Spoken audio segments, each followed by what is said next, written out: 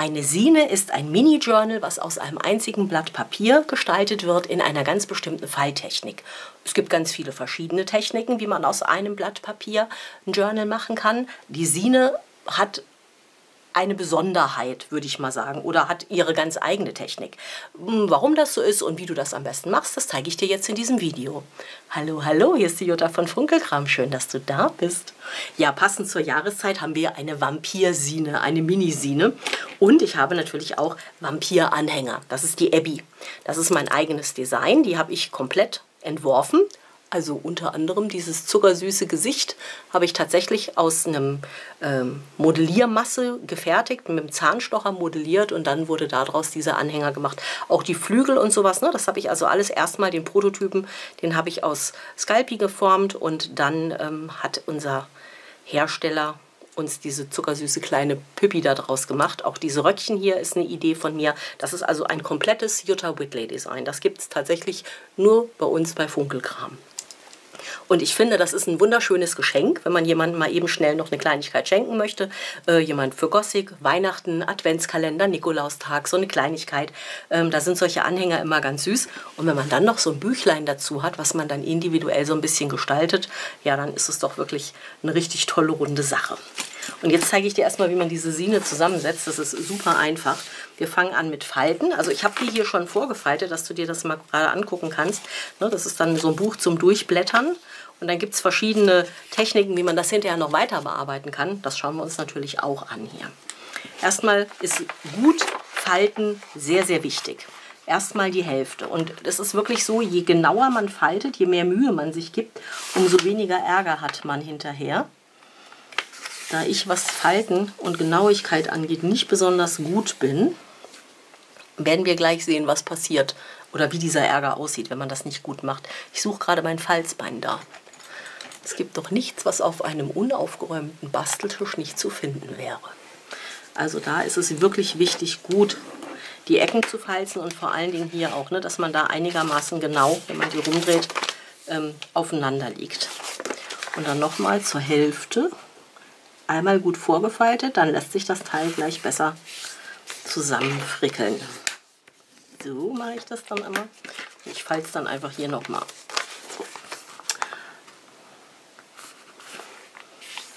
Sieht ja jetzt schon fast aus wie ein Buch, ist nur ziemlich nutzlos, weil man nicht drin blättern kann. Also machen wir den ganzen Bums erstmal wieder auf. So. Und jetzt brauchst du ein Messer, eine Schere, ein Skalpell oder irgend sowas. Wo ist mein Fingermesser? Moment, abgestürzt. Es ist nämlich vorhin runtergefallen vom Tisch und ich war zu faul, das aufzuheben. Das rächt sich. Und jetzt müssen wir hier in der Mitte das Ganze aufschneiden. Dafür verwendet man am besten wenigerweise ein Geodreieck oder irgend sowas, damit man eine schöne gerade Linie beim Schneiden hinbekommt.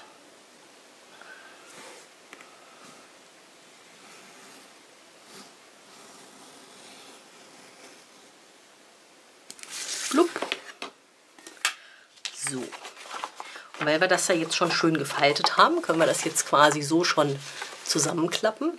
Mal noch mal ein bisschen aus dem Zoom raus, damit man sieht. Aber du musst jetzt hier mit dem Finger reingehen und musst das einmal hier klappen und dann hier genau das gleiche, nach außen. Also quasi Ohren machen. So. Und wenn du das jetzt zusammendrückst, ist dein Buch schon fertig. Nochmal. okay, war zu schnell. Noch einmal. Ganz einfach. In der Mitte aufgeschnitten. Dann kannst du das hier zusammennehmen und da an den Ohren lup, umklappen. Und fertig ist dein kleines Mini-Journal. Und jetzt kannst du loslegen und dekorieren, wie du willst. Du kannst das offen lassen, du kannst es zusammenkleben. Du kannst die ganzen Seiten hier komplett zusammenkleben. Ich mache das eigentlich immer so, dass ich ähm, bestimmte Stellen habe, an denen ich das zusammenklebe. Also ich mache das einmal hier zu, weil ich das nutzlos finde, da unten an der Öffnung das aufzuhaben. Hier ist auch immer extra noch ein bisschen Platz, damit man was hinschreiben kann oder einen Spruch drauf oder so. Hier haben wir diesen netten Herrn. Ähm, ja, das würde ich jetzt zu einer Pocket zusammenkleben. Da würde ich aber, glaube ich, lieber vorher hier oben noch ähm, reinstanzen und so eine kleine Einkaufstasche machen. Wo haben wir denn mal so ein so ein Ding hier, so ein Kreisstanzer. So. einen stumpfen Kreisstanzer, nicht gut. Ähm, Alufolie, ne? Man muss ein paar Mal in Alufolie stanzen und dann werden die wieder scharf. So, muss ich mal wieder machen. Und wahrscheinlich ist es dann auch schlau, hier den Rand gleich schon mal so ein bisschen mit ein bisschen Stempelfarbe. Weil jetzt sieht das hier so neu aus und so. Das passt ja nicht. Also, okay, reißen wir es aus und lassen es gleich richtig schlampig aussehen. Auch gut. Das ist das Coole am Junk Journal. Man muss sich gar nicht aufregen über sowas. So, dann klebe ich das hier kurzerhand zu. Dann habe ich hier eine schöne Tasche zum Einstecken. Für irgendwelche Tags oder Hübschitäten. Ein kleiner Geldschein, ein Gutschein. Ja, gerade wenn das ein Geschenk sein soll, ein kleines so. Das eignet sich ja sehr, um hier mal eben so 1000 Euro zu falten und da reinzustecken. Oder zwei oder drei. oder fünf Euro machen wir es mal realistisch. So, hier ist es dann ja auch wieder offen. Ja, also es ist nach unten offen. Ähm, das ist auch wieder ein Teil, den ich kurzerhand zusammenklebe, weil ich das besser finde, wenn das zu ist. Kannst du bei deiner Sine machen, wie du willst. Und hier hinten haben wir dann ja auch wieder eine Tasche. Okay, mal gucken. Ich habe eigentlich so viele von diesen Kreisstanzern. Gibt es hier irgendwo einen, der funktioniert? Das wäre vielleicht mal ganz nett. Ich habe so ein Chaos hier. So, jetzt. Der ist ein bisschen größer. Dafür schneidet er besser. Und auch da, glaube ich, finde ich es gut, wenn ich auf den Rand ein bisschen Stempelfarbe mache.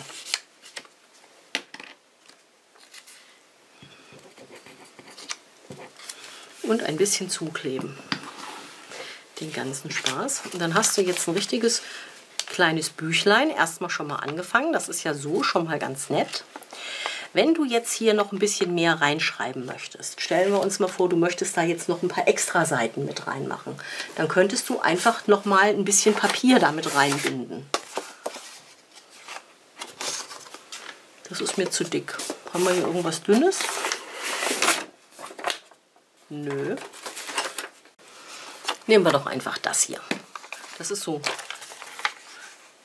Postkartengröße, DIN A6, weil das ist genau, also aufgeklappt hat die, die sie eine Postkartengröße, das ist DIN A6 und zusammengeklappt, das ist dann glaube ich DIN A7, ne? oder?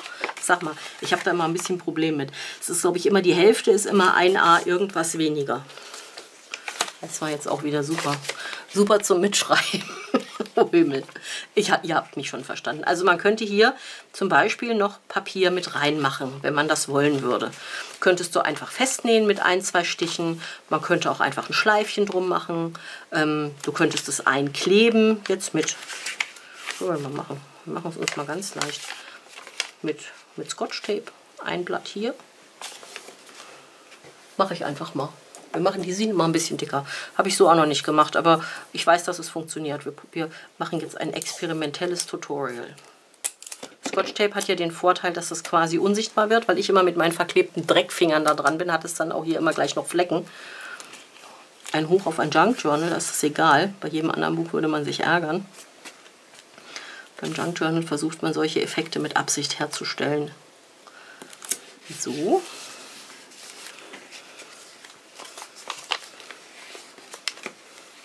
hast du noch ein paar extra Seiten. Könnte man noch was draufschreiben, ein Gedicht, ein paar extra gute Wünsche. Ja, oder hier könnte man noch mehr Seiten mit reingeben. Ich lasse das jetzt mal so. Ich finde, dass das, dass das so reicht. Für einen extra schönen, vielleicht als Geburtstagskarte, einen besonders schönen Geburtstagsgruß oder sowas. Und weil ich gerne habe, dass Dinge gut halten, würde ich das auch hier noch ein bisschen festkleben und fixieren. So. Und selbstverständlich muss da irgendwo noch ein bisschen schwarze Spitze hin. Ich muss mal wieder rein. Ich muss mal raus. Aus dieser großen Entfernung. Man sieht ja gar nichts. Das macht ja gar keinen Spaß. Ich hatte hier vorhin schwarze Spitze rumfliegen. Ich habe hier immer noch schwarze Spitze rumfliegen. So, also einmal ein bisschen an den Rand würde ich hier auf jeden Fall kleben.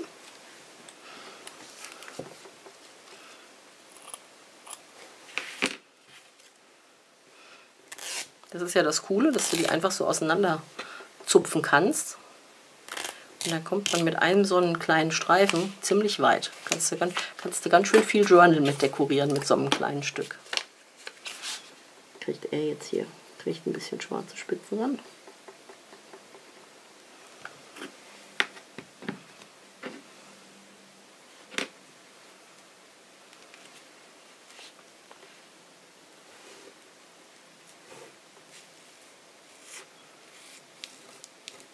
Habe ich schlecht gemessen. Ist zu lang.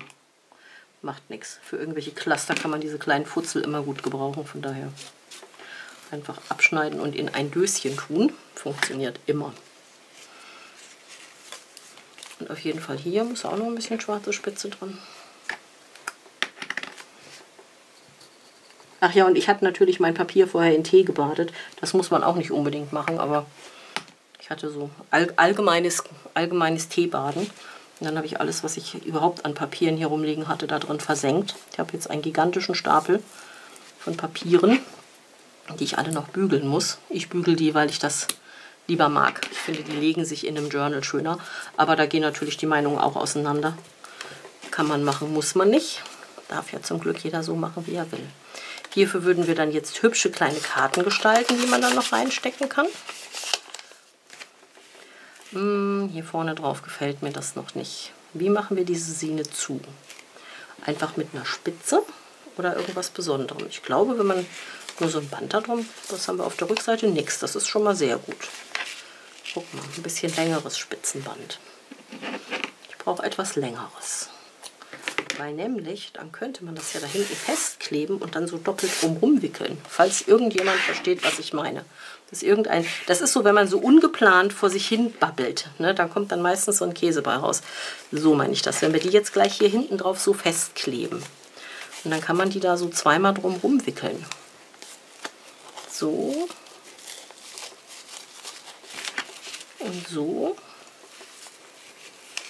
Das ist mir zu breit und zu viel für dieses kleine Journal. Also muss ich die auch noch mal halbieren. Es hilft alles nichts. Und wenn du dann solche Geschichten veranstaltest und du hast kilometerlang äh, diese dünnen Spitzendinger hier über, leg sie zur Seite. Die sind ganz wunderbar, um da später noch ähm, Bimselbamsel draus zu machen. Passt jetzt nicht unbedingt zu diesem Journal hier, aber zu ganz vielen anderen passt es ja ganz toll. So und so. Und dann kann hier vorne die Schleife drauf. Das funktioniert auf jeden Fall von der Länge. Brauchen wir jetzt nicht zumachen, wir sind ja noch, wir sind ja noch mitten im Gefecht. So.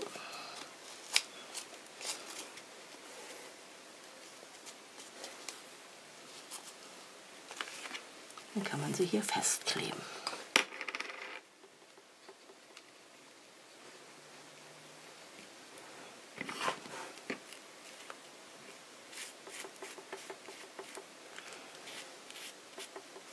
Klappert hier dauernd so, ne? Das sind die, die Spritz, da steht die ganze Kiste mit diesen, mit diesen Spritzdingern rum.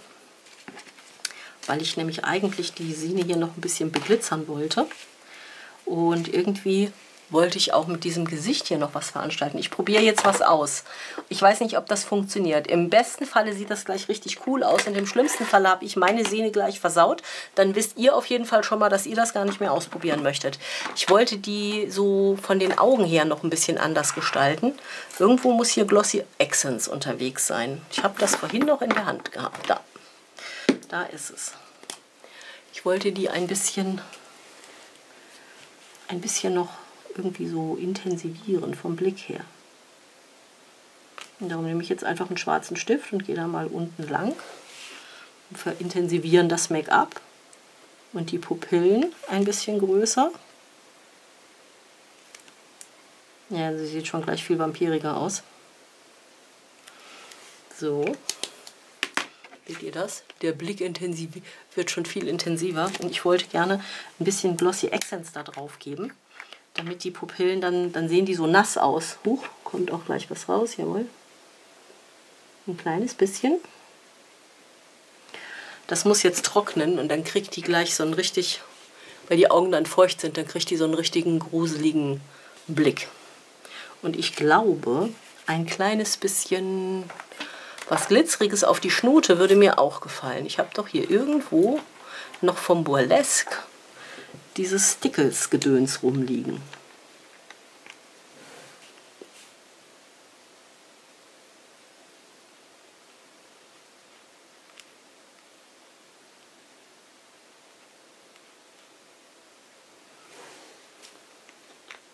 Jupp. Das gefällt mir.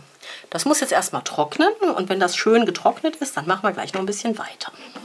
So, während das jetzt getrocknet ist und sie jetzt hier so einen richtig schönen, gruseligen Blick hat, so gefällt sie mir, habe ich da gerade noch Carpe Noctum drauf gestempelt. Das ist ja hier in unserem Spinnen-Stempelset vom Roland dabei, was hier irgendwo auf meinem Tisch rumfliegt.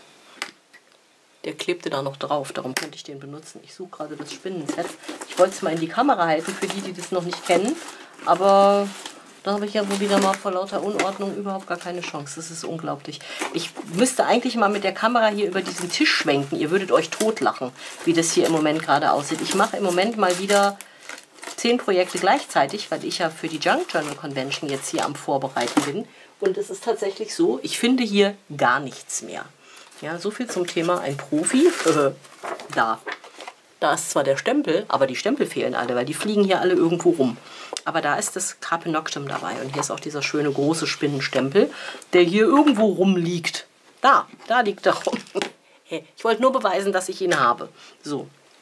Und das Carpe Noctum habe ich da drauf gestempelt, weil ich das sehr passend fand. Und habe mal eben schnell noch mit unseren Gruselelfen eine kleine Einsteckkarte gemacht. Und das habe ich mit goldenem äh, Stempel auf schwarz gemacht. Das ist dieses Galaxy Gold von, diese Brilliance Stempel.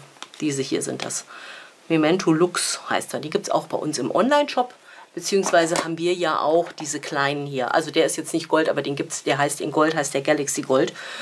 Der hier irgendwo rumfliegt. Keine Chance, vergiss es, ist ja auch total egal. Habe ich euch unten drunter sowieso natürlich verlinkt.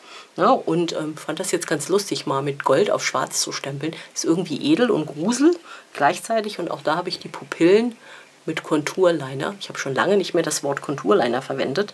Habe ich die mit schwarzem Konturliner so parat gemacht, weil die hat sonst so, die hat so Glotzaugen von diesem ähm, Stempel. Das finde ich nicht so ganz so toll und deswegen wollte ich da irgendwie so einen kleinen Akzent drauf setzen.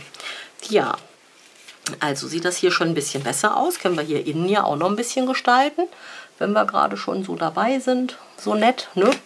Könnte man da ja zum Beispiel mit so einem Spinnennetz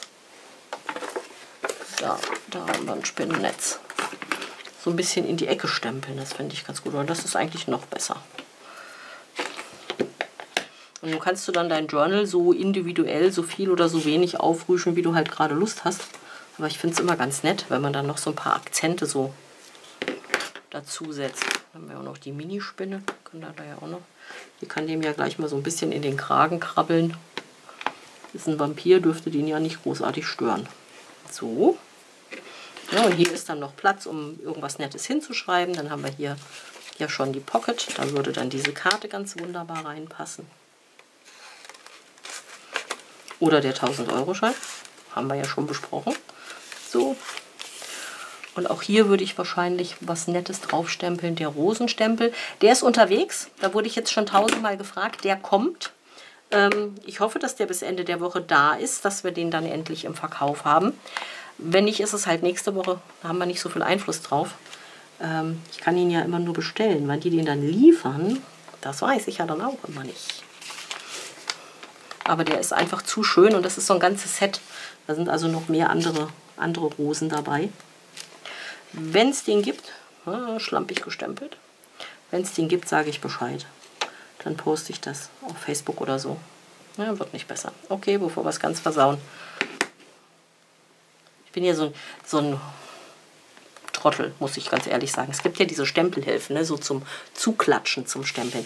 Das ist ja, das Ding ist ja irgendwie so überhaupt nicht mein Freund. Ich kann überhaupt gar nicht sagen, warum, aber wir beide, wir kommen nicht besonders gut zurecht. So, wenn man sowas benutzt zum Stempeln, dann hat man ja gar kein Problem, da genau nochmal drauf zu stempeln. Ich nehme dann einfach kurzerhand einen schwarzen Stift und fusch dann so ein bisschen. Fällt ja auch nicht weiter auf. So und schon ist schön. so, dann kann man hier dann noch irgendwas Schönes hinschreiben. Ach so, da muss unten in diese Ecke auch noch was reingestempelt werden. Und dann haben wir es schon fast geschafft. Dann hast du im 0, nix ein richtig süßes kleines Journalchen gemacht zum Verschenken, zum Tauschen vielleicht um es in eins von deinen größeren Journals zu stecken, weil da irgendwo noch eine Deko fehlt. Ich glaube, was auch super cool wäre, wäre das einfach auf eine Karte drauf zu kleben. Auf so eine große DIN A6-Karte in schwarz oder so. So eine, weißt du, so eine Ton, Tonpapierkarte, Postkartengröße. dann so als Hintergrund irgendwie. Also da fallen mir jetzt gleich wieder tausend Sachen ein, aber so lange wollten wir es ja nicht haben. Ähm, das Video, das sollte ja ein Quickie werden. Ich überlege gerade, ob es cool wäre, wenn wir da mit dem Spritz noch ein bisschen so einen Metallic-Schimmer drauflegen. Ich glaube schon. Lass mal sehen. Habe ich hier irgendeinen so Walnut Stain oder so? Mit diesem hier. Der ist ja so ein bisschen... Mir fehlt da noch ein bisschen was. Das ist mir, das passt mir noch nicht in Kram. Das Ganze. Dann muss ich mal das Gesicht abdecken, weil die im Gesicht soll die ja keinen Glitzer haben. Aber so drumherum vielleicht. Mal gucken. Nur so ein bisschen. Und der macht ja zwar ähm, der macht so einen Metallic-Hauch, so einen Schimmer, aber ohne irgendwie so, wie soll ich denn das ausdrücken, ohne so glitzerig kitschig zu werden, das Ganze. Ich muss das gleich wieder trocknen. Hier haben wir ein Tuch, ein bisschen abtupfen. Das mache ich immer sehr gerne bei den Spritzen. Das ist mir immer zu viel Feuchtigkeit, aber kann man gleich noch hier ein bisschen verteilen. Die sind mir immer zu nass. Man kriegt das gerade so ein, das ist noch zu feucht, man sieht es gar nicht. So einen ganz, ganz leichten Schimmer. Okay, es hilft alles nichts, ich werde es föhnen müssen. Ja, das war eine gute Idee. Es glitzert nicht so wirklich, aber es, ist, es hat so Patina bekommen. Das sieht so fleckig aus auf einmal. Kann man das? Ja, man sieht es schon. Das diese diese ganz leichten Flecken. Man sieht gar nicht, dass das so einen leichten Metallschimmer hat jetzt im Video, aber äh, der Effekt ist irre. Sieht also wirklich cool aus. Und ich denke, damit haben wir die Sine schon fertig. Drumherum gewickelt. Schleifchen drum.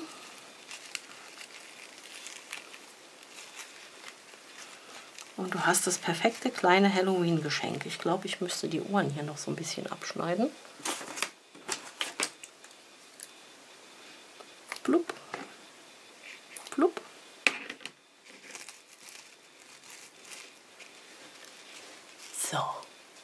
So ist es hübsch. Und dazu dann noch so ein kleiner Anhänger in eine hübsche Schachtel. Oder man könnte ihn auch direkt hier anhängen. Gibt es auch einen schwarzen. Ich nehme mal den schwarzen, weil der da gerade besser zu passt. Obwohl, finde ich gar nicht. Rot ist auch nicht schlecht. Könnte man da einfach so mit dranhängen. Und schon hättest du das.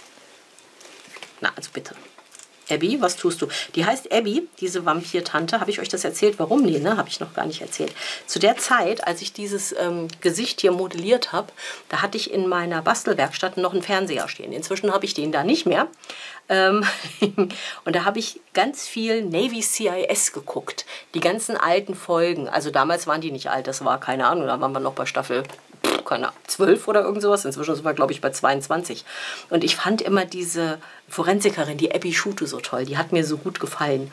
Und die hat so ein bisschen Pate für meine Abby hier gestanden. Also zumindest die Frisur, die erinnert schon so ein bisschen an sie. Ansonsten reichen meine Modellierkünste nicht aus. Aber sie hat auf jeden Fall Dracula-Zähne, die kleine Abby.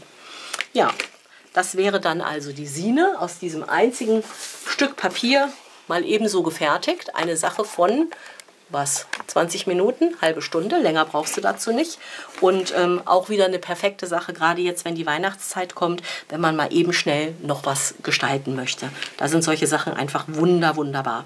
Ich hoffe, dir hat das gefallen. Wenn dem so ist, hinterlass mir sehr gerne ein Like. Hinterlass mir gerne ein Abo, falls du das noch nicht getan hast und dir mein Kanal gefällt und du regelmäßig hier zu Besuch bist. Ich kämpfe ja mich immer noch auf die 9000 zu. In Babyschritten kommen wir dahin. Aber das müssen wir dieses Jahr noch schaffen.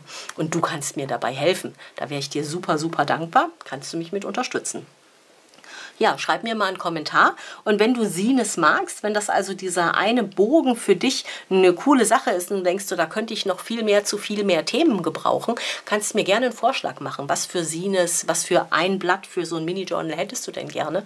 An was sollten wir uns denn dann, ich sammle schon fürs nächste Jahr Ideen, an was sollten wir uns denn mal ranwagen? Ja, würde ich mich freuen, wenn du mir das unten in den Kommentar schreibst. Und jetzt hoffe ich, dass du ganz viel Zeit und Ideen hast, an deinen Basteltisch zu gehen und dich glücklich zu basteln. Viel Spaß, bis zum nächsten Mal. Ciao!